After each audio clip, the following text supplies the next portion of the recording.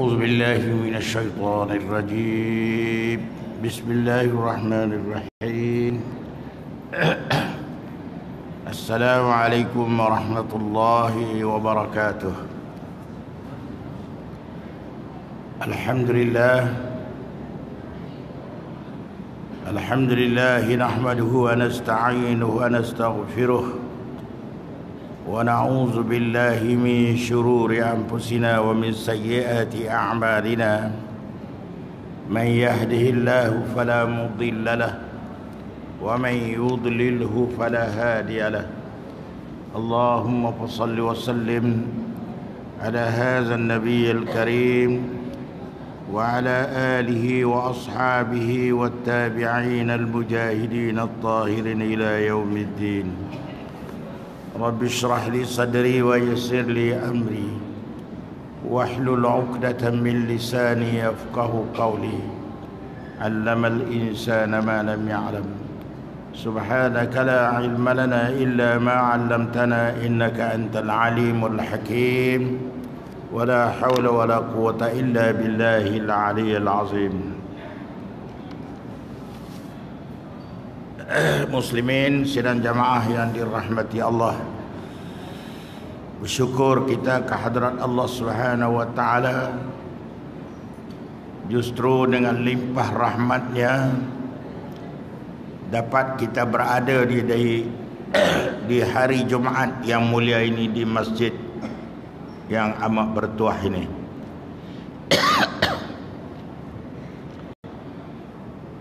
Saya pada tengah hari ini nak berkongsi dengan tuan-tuan satu hakikat tentang kelebihan Ramadan ataupun kelebihan as-sawmu.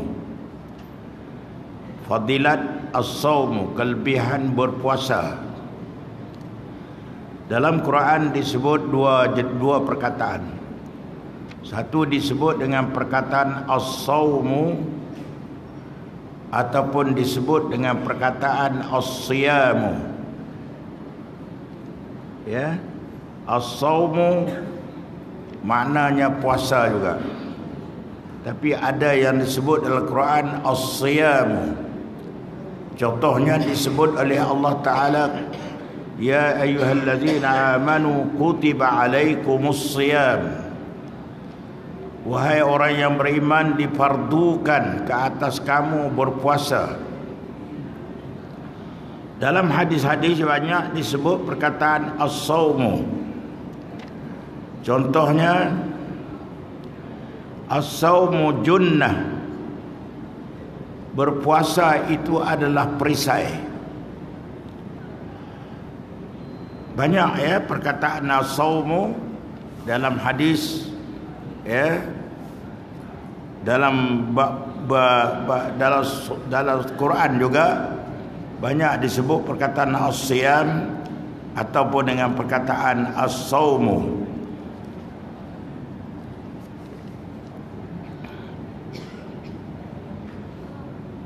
Firman Allah Subhanahu wa taala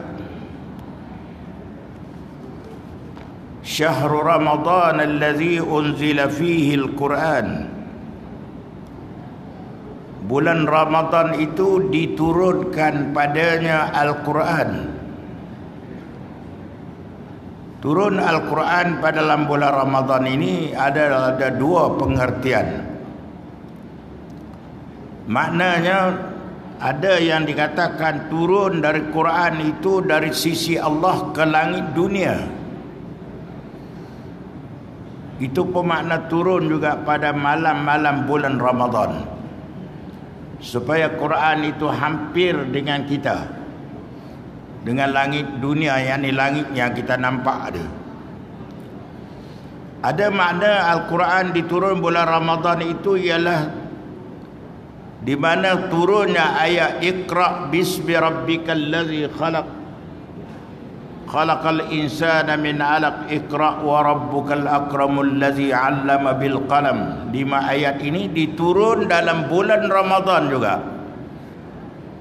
Yaitu pada masa nabi sedang beribadah di dalam gua gua Hira. Nabi pun tak tahu.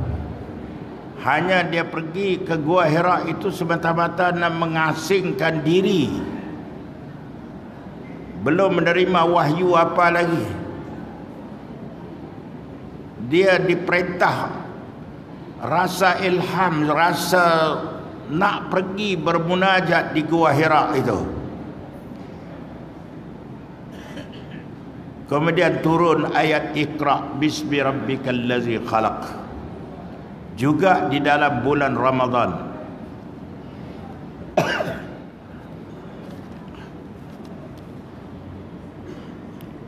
dan kelebihan dalam bulan Ramadan ini pandangan ulama ialah sepuluh yang akhir. Sepuluh yang akhir. Diturunkan Lailatul Qadar. Lailatul Qadr. Ha, ataupun sebut Lailatul Qadar tapi yang Quran sebut Lailatul Qadri khairun min alf syahr. Malam Lailatul Qadar itu lebih baik daripada seribu bulan.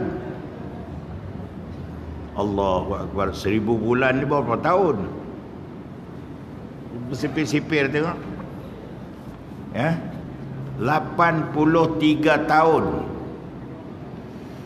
jadi bermakna orang yang beribadah di dalam bulan malam tu kebetulan malam Laitul Qadar dia boleh mendapat pahalanya. Pahala ibadah itu lebih daripada seribu bulan. Kalau dia dapat semalam saja. Tapi bukan semua boleh dapat tuan-tuan.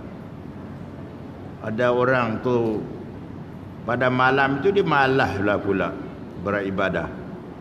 Tak dapat. Mungkin terawih lah dia dapat sekejap sampai pukul 9 begitu. Alhamdulillah juga. Lailatul Qadri khairum min alfi syahr malam Lailatul Qadar itu akan turun kepada kita pada malam ganjil. Khairum min alfi syahr lebih baik daripada seribu bulan. Pada malam itu tanazzalul malaikat warruh turunlah para malaikat dari langit dan malaikat roh yakni malaikat Jibril alaihi salam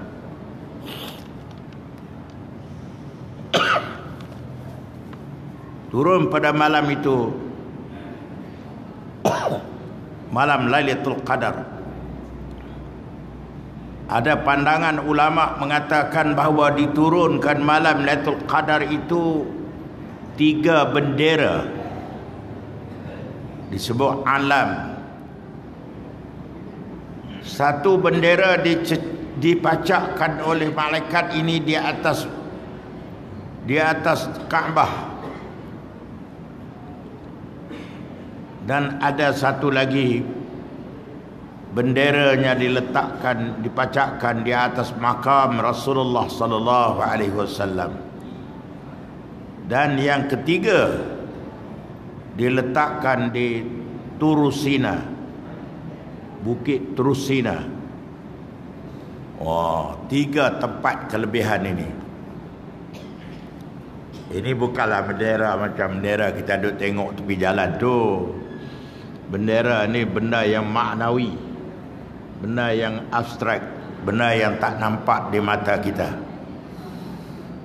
Apa-apa kita serah kepada Allah Subhanahu wa taala. Walau bagaimanapun malam-malam bulan Ramadan itu kita sekarang sudah masuk dalam fasa yang kedua. Bermula daripada hari ini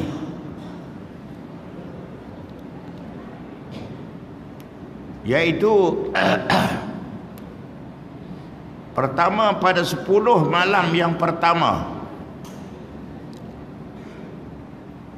10 malam yang pertama. Yaitu pada satu awal satu Ramadan sampai kepada 10 Ramadan. Kemudian daripada 10 Ramadan sampai kepada 20 Ramadan. 10 yang tengah. Jadi kita sekarang sedang masuk dalam 10 yang pertengahan. Dan yang ketiga ialah 10 al-awakhir. 10 yang akhir. Awaluhu rahmah. Sepuluh yang pertama Nabi kata dapat rahmat. Allah turunkan bermacam-macam rahmat. tak tahulah bentuk apa rahmat ini. Allah turun pada sepuluh malam yang uh, awal. Dah lepas kita. Ha? Ini nak masuk lima belas. Enam belas. Maknanya dah lepas 4 hari. Kita dapat 10 yang awal yang Allah turunkan rahmatnya kepada kita semua yang mengerjakan amal ibadah puasa. Dan 10 yang tengah maghfirah Allah turunkan keampunan yang banyak kepada kita hanya mohonlah keampunan Astaghfirullahalazim. Tu banyak-banyak. Dan sepuluh yang akhir. Itqum minan nar. Allah akan bebas kita daripada api neraka Allah Ta'ala. Habis neraka pun tak ada. Ditutup pintu neraka. Dibuka pintu syurga kepada orang-orang yang berpuasa. Ada satu pintu namanya pintu rayyan pintu dalam pintu banyak sangat pintu-pintu syurga ni. Ada satu namanya pintu rayyan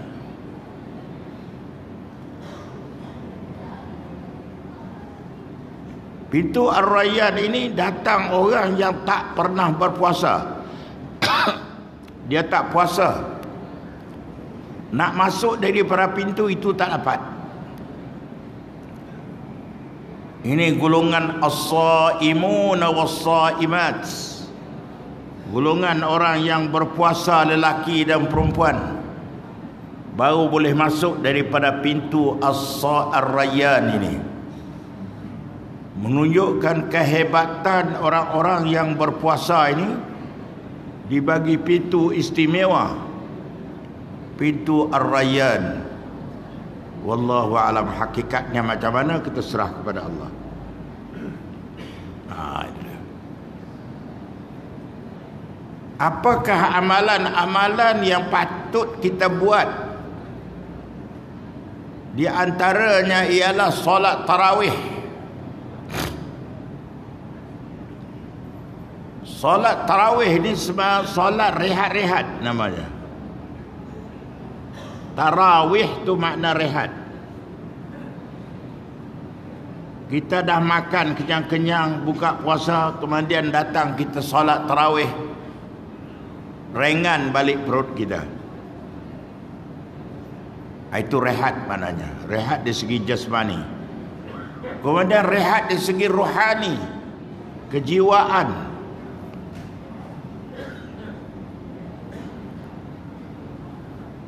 Solat tarawih ni ada yang dibuat 8 ada yang buat 20.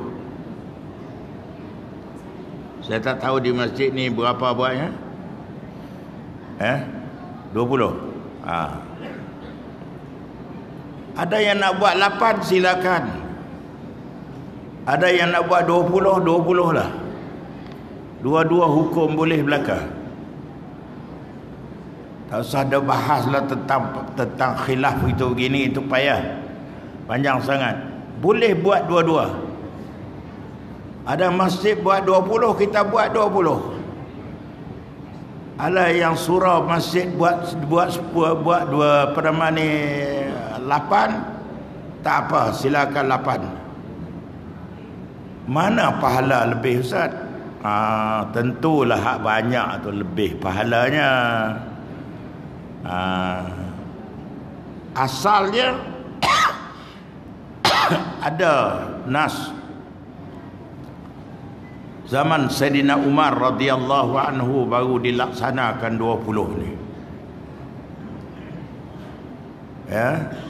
Tapi dalam masa Sayyidina Umar orang buat 20 tapi masing-masing imam. Masih imam banyak. Zaman Sayyidina Abu Bakar. Masih imam banyak. Sana ada satu kelompok, ada sana satu kelompok dalam masjid tu. Jadi masing-masing ikut imam masing-masing. Tapi zaman Sayyidina Umar radhiyallahu anhu dia arahkan satu imam saja. Ha, berlaku satu imam bagaimana yang kita buat pada hari ini. Adakah Sayyidina Umar ni reka-reka? Bukan. Ambil daripada Nabi sallallahu alaihi wasallam juga. Ya. Ambil daripada Nabi juga Bukan maknanya ini ibadah 20 ni reka-reka Nabi nama reka-reka apa nama Sayyidina Umar saja. Jangan kata cakap begitu. Para sahabat ini ashabikan nujum. Eh, para sahabat aku ni laksana bintang. Siapa yang mengikut hidayah sahabat aku maka dia telah mendapat hidayah daripada Allah Subhanahu wa taala. Jangan mempertikaikan ini bukan Nabi. Ini daripada Sayyidina Umar saja. Sayyidina Umar ni bukan macam kita. Abu Bakar bukan macam kita. Jangan tak salah tafsir. Sahabat tu sahabat lah. Ya. Sahabat tu sahabat lah juga. Tapi masing-masing ada kelebihan daripada Allah Subhanahu Wa Taala termasuk Al-Quran yang kita baca dikumpul zaman sahabat dikumpul oleh zaman sahabat Quran yang besar ada yang kecil Jangan nak hukum pula bid'ah lah segala-galanya. Jangan dilempar perkataan itu, tak baik. Eh? Betul lah bid'ah itu bid'ah hasanah. Bila benda sesuatu yang dilahirkan pada zaman sahabat tidak ada pada Rasulullah maka bid'ah. Bid'ah ini ada bid'ah hasanah, ada bid'ah sayyi'ah, ada bid'ah yang jahat. Ini satu tafsiran ulama kita lah. Wallahu a'lam kita tak tak nak bahas benda itu. Jadi balik pada pokok persoalan kita bulan Ramadan ataupun bulan bulan-bulan puasa ini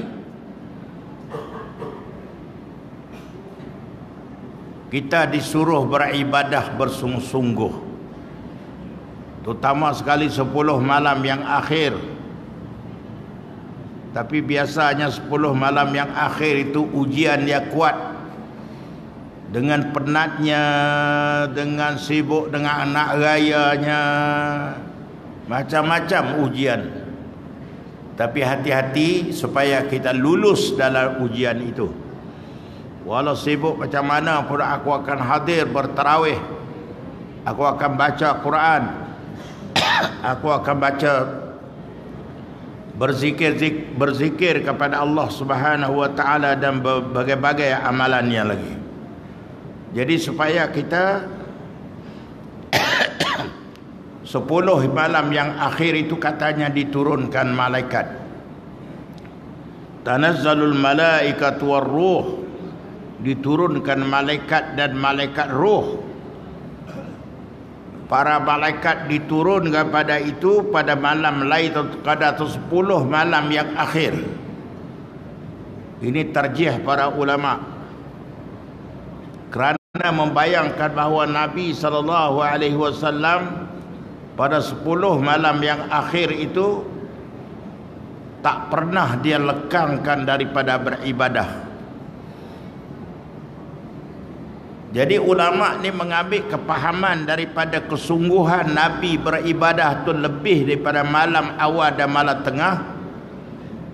Jadi lalu dikatakan bahawa malam itu malam Lailatul Qadar. Sebab apa ada ganjil? Malam 21. Malam 23. Malam 25. Malam 27. Malam 29 ada lima malam. Ah itu. Jadi pada malam yang ganjil ini malam yang paling berat sekali kepala kita nak bangun. Malam yang ganjil ini malam yang paling susah kita nak beribadah. Halangannya banyak. Tapi tempuhilah ha, kegan apa malam-malam yang yang kata susah kita nak ibadah tadi ini dengan penuh kesabaran minta rahmat daripada Allah Subhanahu wa taala supaya kita menjalankan ibadah kita pada malam-malam tersebut dengan lebih sempurnanya lagi. Karena pada malam itu khairum min alf syahr. Dia lebih baik daripada seribu bulan. Lebih baik daripada seribu bulan. Semalam tu. Kalau kita dapat pada malam itu malam Lailatul Qadar dapat ni maksudnya bukanlah mesti kita dapat ada orang malam-malam datang masuk dalam bilik kita berjanggut putih. Bukan begitu. Jangan salah faham. Nak nak nak tahu macam mana kita dapat atau tidak adalah kesempurnaan bagi kita. Allah bagi kepada kita. Ada Allah tuan tuan guru. Tuan guru saya lah. Dia mendapat malam Lailatul Qadar ni semasa dia sedang menuntut di Mekah. Ya semasa dia dalam hijir Ismail ya dalam ibadah kemudian turunlah pada malam itu malam itu Qadar dapat pada dia. Lalu dia pun berdoa kepada Allah Subhanahu wa taala agar dikurniakan dikurniakan pada padanya tujuh keturunan dirinya ada keturunan tujuh keturunan daripada kalangan orang-orang yang alim semuanya. Alhamdulillah dapat. Saya dapat ni peringkat anak dia. Kemudian cucu dia. Cucu cucu cicit orang alim tu. Begitulah tuan-tuan minta supaya anak cucu cicit dia dijadikan orang ulama orang alim belaka. Tuahnya orang alim ni. Wallahu alam. Jadi muslimin dan muslimat muslimin sidang jamaah yang dirahmati Allah sekalian marilah sama-sama kita tingkatkan peribadatan kita kepada Allah Subhanahu wa taala. Malam pertama sudah habis dan yang kedua sekarang ni malam maghfirah keampunan daripada Allah Subhanahu wa taala. Allah turun ke keampunan dan seterusnya. Aitkum minan nar Allah bebaskan kita daripada api neraka Allah taala. Insyaallah 10 malam yang akhir. Itulah saja. Lebih kurang kita mohon maaf. Selamat berpuasa dan selamat menyambut hari raya insya Allah sekian aku laqawli hadza li wa lakum wa lisairil muslimin wal muslimat fa yafawzal mustaghfirin wa ya najat at-taibin assalamu alaikum wa rahmatullahi wa barakatuh بسم الله الرحمن الرحيم الحمد لله رب العالمين والصلاة والسلام على رسول الله اللهم علمنا ما ينفعنا وانفعنا وصلى الله وصحبه وسلم